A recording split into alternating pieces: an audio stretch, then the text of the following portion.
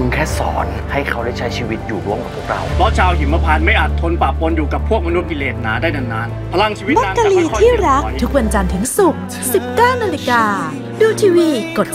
33 ดูมือถือกด3 plus